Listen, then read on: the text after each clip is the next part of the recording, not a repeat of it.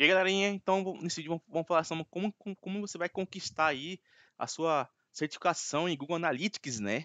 É, eu sou o Wesley Silva, já sou especialista em Google Analytics faz muito tempo, né? Todo ano eu renovo aí a minha certificação e esse ano eu tirei a, a certificação nova, né? Que saiu recentemente aí, que é de Google Analytics 4. E nesse vídeo eu vou te passar aí quatro pontos, né? Que você tem, precisa fazer para você é, se preparar para a sua certificação. Eu anotei aqui no bloco de notas e eu vou passar para vocês um por um. Beleza? O primeiro passo aqui é você conhecer a certificação, né? É, conhecer você ali no site, né? É, ver quais são os requisitos, né, para a certificação, quais são o, que, o, o, tipo de conteúdo que, que ela é pedido, quais são as, os principais ali, os principais cases que ela vai pedir, pedir ferramenta, integração do Google. Então você precisa primeiramente, primeiramente ver né, o contexto geral da, da certificação para você ver o que você realmente vai, vai estudar, né, porque tem os pontos principais. Para você se preparar, é o primeiro de tudo é você conhecer os requisitos da certificação, beleza? O segundo ponto é você estudar os principais quesitos da ferramenta, né? As principais ali características que vão pedir. Por exemplo, é, como que é o, o, o, traqueamento, como que é a instalação, é, em ferramentas que ferramentas que fazem integração, quais são os tipos de integração com, a, com, a, com as outras ferramentas do Google, né? O tipo de traqueamento, e-commerce e tudo mais, porque com certeza vai cair muito isso aí, né? O traqueamento e-commerce.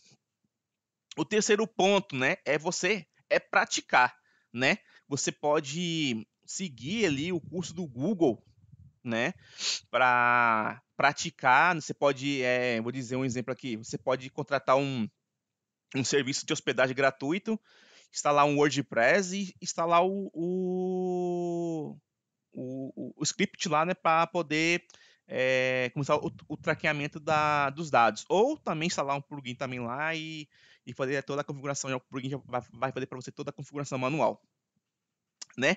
Ou também você pode também comprar um curso que tem, você, que vou deixar aqui na descrição, que tem, que você estuda, se prepara para a certificação, ainda tem alguns casos, né?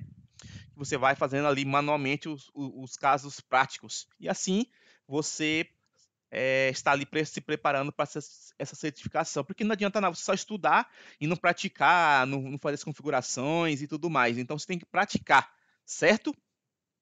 O quarto ponto é você se preparar de fato para a certificação, né? Depois que você é, conhecer quais são os principais é, requisitos, é, você se preparou, estudando, né, praticando, depois que você preparou, é, se, se, é, se, preparou, você tem também que fazer os, que eu vou dizer, os simulados. Tem muitos simulados pela internet aí, tem muitos sites que fazem esse, tem esse, esse, esse, esse principal papel que é fazer os simulados, né?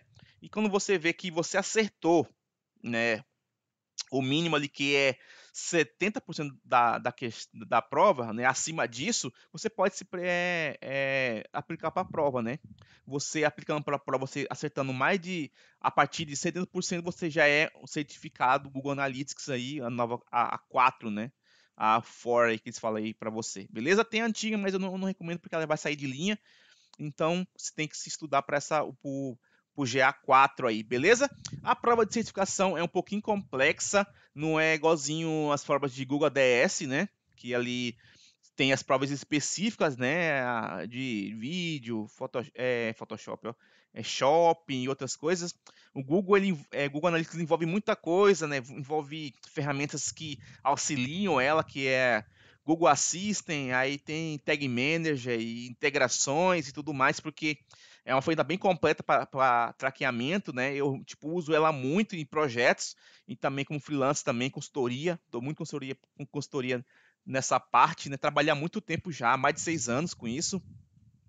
Então, eu gosto muito dessa ferramenta e recomendo que você tire também, porque é, muitas empresas me procuram, né?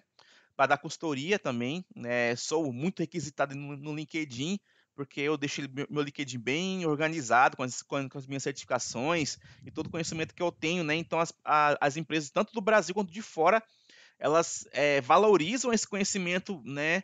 Que aparentemente, é, pelas empresas, assim, algumas empresas não valorizam, não valorizam a pessoa que é certificada, né? Mas empresas de fora, pratica, é, é, vou dizer, praticamente as empresas de fora valorizam mais que as, que as empresas do Brasil, né? Porque lá, eu vou dar um exemplo para vocês aqui prático de Portugal. Portugal, a, a população é muito, muito velha, né? É muito, muito idosa. Então eles, eles procuram jovens que tenham esse conhecimento, essa, né, esse nível de serenidade ali, tipo, é, sênior, é, pleno também, tem muitas vagas para pleno, né?